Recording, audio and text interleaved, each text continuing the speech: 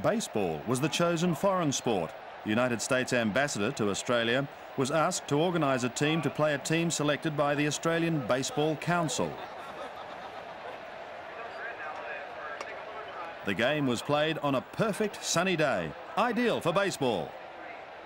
The Americans were selected from the US military of Far East Command.